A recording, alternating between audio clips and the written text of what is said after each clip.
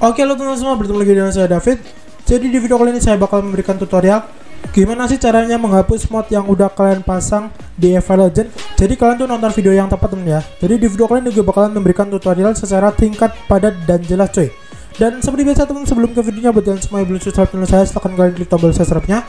Dan jangan lupa kalian aktifkan juga notifikasinya teman ya.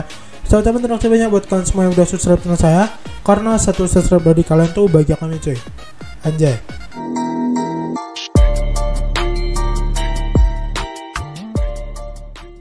Oke teman sebelumnya saya bakal contohkan dulu ini adalah video pembuktian cuy. Jadi di sini Legend saya tuh uh, udah saya custom di sini saya pakai knalpot atau bodykit dari Bosozoku ya teman ya yang kemarin udah gue pasang dari ZRB custom cuy. Kemudian kalau kalian mau lihat lagi di sini tuh uh, udah banyak banget cuy yang gue mau cuy ya. Jadi untuk uh, di bagian mapnya sendiri di sini saya tuh juga pasangin untuk Akina Mountain cuy. Nah kayak gini di sini di bagian Akina Mountain. Jadi ada dua mod yang saya pasang di Evil Legend saya ini teman ya. Jadi di video kali ini saya bakalan memberikan tutorial cara menghapus um, semua mod yang ada di Evil Legend saya ini cuy. Ini adalah tutorial uh, menurut saya sendiri ya. Saya kagak riset sama sekali. Saya kagak tahu tahu kayak gimana sebenarnya orang-orang tuh menghapus kayak gini. Nah, di sini adalah campuran antara my hand cuy sorry bukan Akina di sini saya pasangin yang my my hand map ya temen ya yang full my hand itu coy yang kemarin udah gue upload. Jadi kayak gini nih kalian bisa ke sini kan? Ini beneran ya temen ya?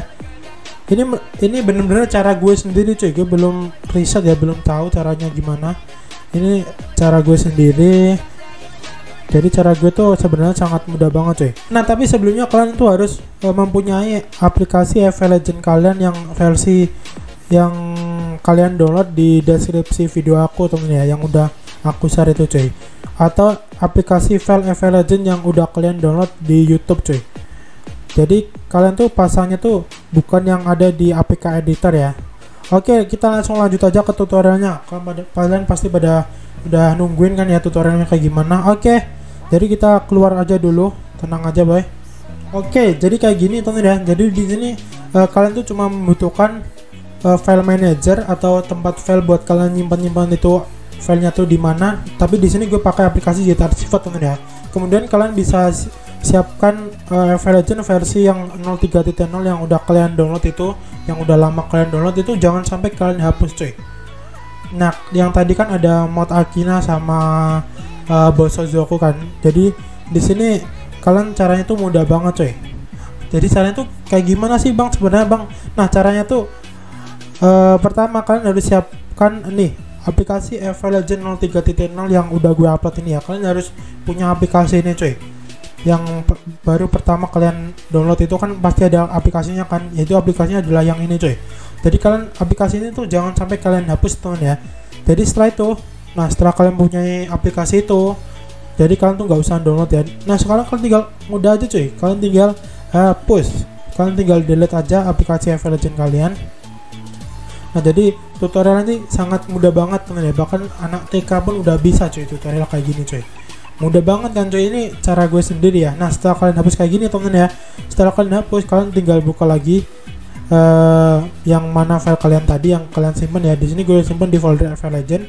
Nah sekarang kita tinggal install aja nih cuy. Ini by flash mode ya dari flash mode.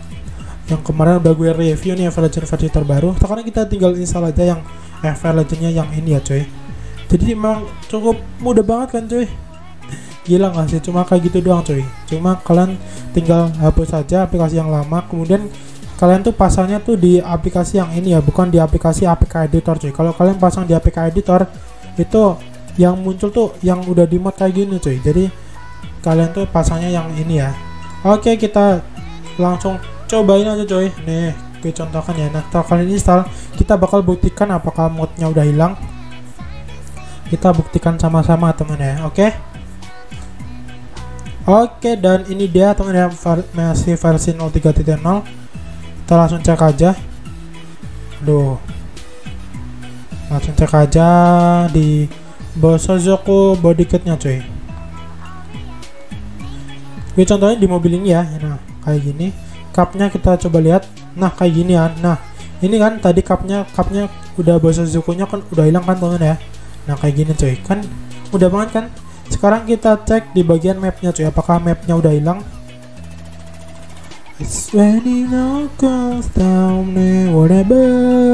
Oke dan di sini untuk kansanya sama kan teman ya? Jadi di sini kansanya tuh standar lagi cuy. Sama seperti bawaan Ever Legend yang udah kalian download itu cuy. Kalau untuk menghapus salah satu mod itu gue belum cara belum tahu caranya itu yang pasti kalian itu harus backup datanya dulu cuy. Yang pasti kalian harus backup datanya dulu cuy. Oke mungkin sekian untuk video kali ini. Jangan lupa buat kalian semua yang belum subscribe channel saya Silahkan kalian klik tombol subscribe nya Oke kita ketemu lagi di video berikutnya. Bye bye